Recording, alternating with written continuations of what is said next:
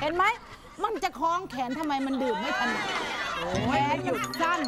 แล้วดูดิเมาใกล้น้ำแดวันง พระวันเจ้าแล้ว ดูทำบาปไม่เว้นเลยไม่เว้นเลยเจ๊หนุ่มเหมียวดูนะ อันนี้ผิด ผิดศีลทั้ง 5 ข้อเลยเจ๊หนุ่มเหมียวรู้ป่ะห้าข้อใช่เหรอ เออดูไก่ฆ่าไหมฆ่าไหมอ๋อ ข้อหนึ่งฆ่าสัตว์เออฆ่าสัตว์ไปแล้วน่ะเห็นไหม แล้วจะห้าข้อสองลักทรัพย์ อ้าว ก็ขโมยไง ขโมยเงินไง เออ นี่ขโมยเงินมาปลนเปลือผู้ชายอะลักทรัพย์แล้วอะไรอีกนะดื่มสุราดื่มสุราก็เห็นเห็นอยู่เห็นไหมใช่ใช่อะแล้วเห็นมุสาพูดปดโกหกไหมมันบอกสวดว่ามันไม่เคยต้องมือชายมาเลย อุ้ยตายกล้าพูด เอ๊ะแล้วข้อสุดท้ายข้อกาเมเขาก็ยังไม่มีสามีเขาคงไม่ทำอะไรกันหรอกมั้งอืมอย่าให้พูดเลย เดี๋ยวมันก็ชวนกันไปหลังตลาด เอ้ยกินเหล้ามาอย่างนี้ จะชวนไปทำอะไรกันหลังตลาดนั่นนั่นนั่นนั่นพาฉันเลยเขาไปเดินเทียนตัวเมียค่ะใกล้วันพระแบบนี้อย่าเอาอย่างเจ๊เป้านะคะ ต้องหมั่นทำความดีนะคะ อย่างวันนี้เลยในช่วงคนดีในช่วงคนดีสีตลาดค่ะเราจะพาไปหาคุณลุงท่านหนึ่งที่เรียกว่าแบบใจดีมากๆขนาดเด็กรักกันทั้งคลองเลยนะคะ จะเป็นยังไง ตามไปดูเลยค่ะ ไม่ไหวแล้วข้างหลังอะ บัตรสีบัตรช่วงคนดีสีตลาดโดยไทยประกันชีวิต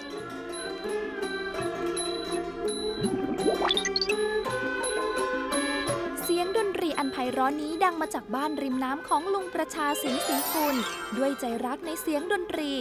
ลุงประชาจึงได้อุทิศตนเป็นครูสอนดนตรีให้กับเด็กๆ แถวบ้าน ย่านคลองหลวงแพ่งจังหวัดฉะเชิงเซาหลังจากเกษียณอายุราชการค่ะ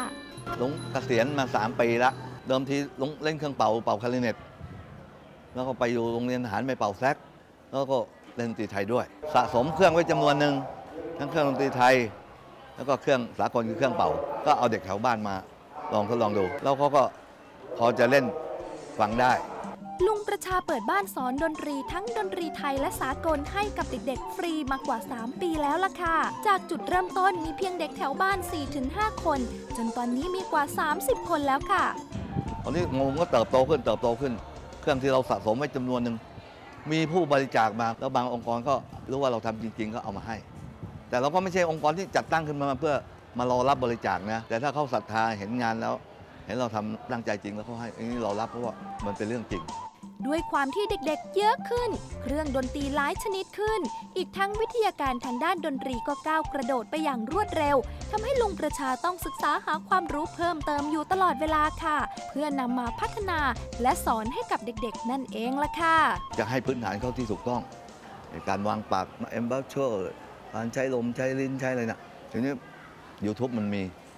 ศาสตร์ให้เด็กๆดูประกอบด้วยดีท้อมกันว่าเอ๊ะเขาจะทำได้ไหมเนี่ย แล้วเขาจะทำได้ไหมเนี่ย ก็เป็นอย่างนั้นอยู่นาน แล้ววันดีคืนดีเขาก็ทำได้เอง เรียนรู้จากการทำตัวอย่างดู แล้วก็ดูพี่ๆ ตอนนี้ก็ได้พี่ๆเขาช่วยสอน แต่เราก็กำกับดูอีกทีเดี๋ยวเล่นเพลงแขกประเทศชั้นเดียวนะเอาสี่ตามที่พูดนะโดลาลาลาโดลาลาลาโดสอนลาสอนโดลาสอนหนี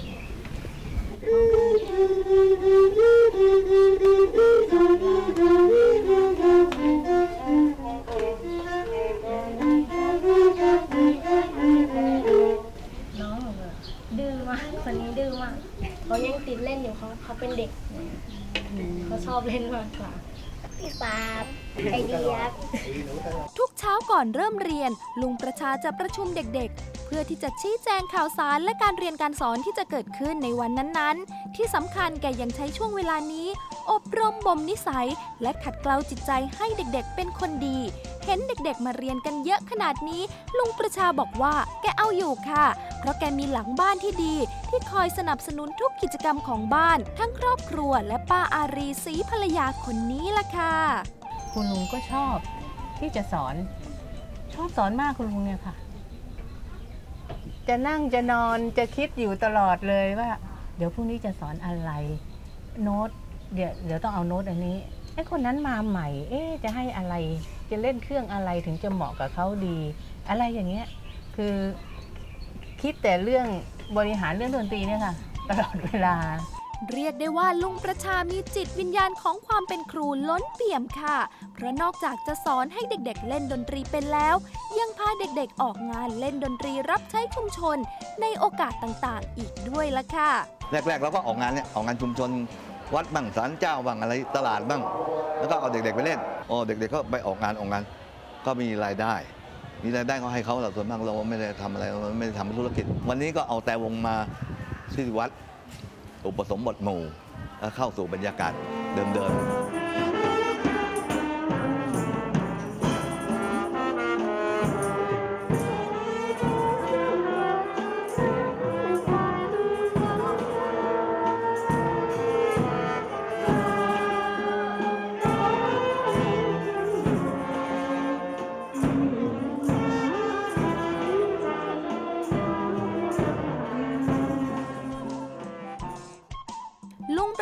ดสอนดนตรีทุกวันเสาร์อาทิตย์ วันหยุดนักขัตฤกษ์และช่วงปิดเทอมค่ะ ลุงประชาบอกว่าที่บ้านก็จะเหมือนสถานรับเลี้ยงเด็ก ที่มีคุณลุงกับคุณป้าช่วยกันดูแลค่ะ เช้าพ่อแม่ไปทำงานก็เอามาหยอดไว้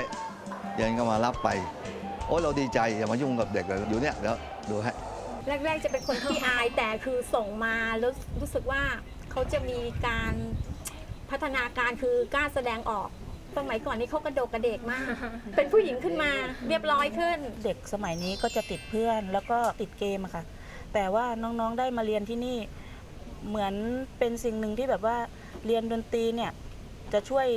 ขัดเกลาเด็กอยู่แล้วค่ะ พวกเราก็รักคุณลุงกับคุณครูอารีเหมือนคนในครอบครัวของเราเลย เรา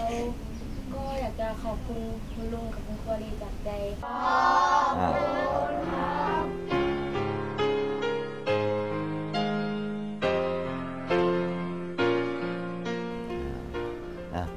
เด็กดีลูกนะ อย่าไปมั่วสมอะไรไปนอกลู่นอกทางอะไรก็ดีใจแล้วลุงประชาพูดอยู่เสมอว่าตัวแกเองไม่ใช่นักบุญค่ะ แต่ที่ทำอยู่ทุกวันนี้เพราะมีความสุข สุขที่จะเป็นครูสอนดนตรีให้กับเด็กๆ แม้วัยเข้าสู่ปีที่ 63 แล้ว แต่ลุงประชาก็ไม่เคยเหนื่อยเลยละค่ะ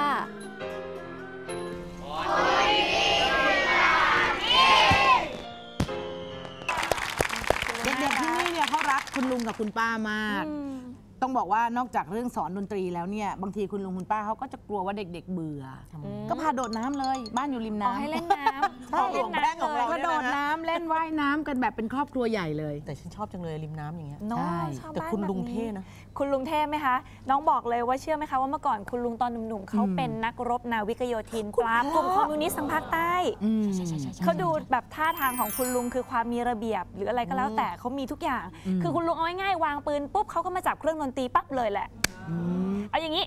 เจ๊จำได้เมื่อสัปดาห์ที่แล้วไหมคะหนูจำอะไรบอกไม่ได้ไว้เลยช่วยช่วยจำนิดนึงช่วยจำนิดนึอะงพูดมาสิพูดมาสัญญาไว้ว่าจะพาไปชิมทุเรียนเย้ปีนังอ๋อไม่ยังไปจบใช่ไหมยังไม่ไม่จได้บไปไม่ได้ไปอืมแต่เจ๊ไม่ชอบไม่เป็นไร แต่คุณผู้ชมถ้าชอบเตรียมตัวเลยนะคะ ช่วงหน้าอืมสักครู่เดียวค่ะ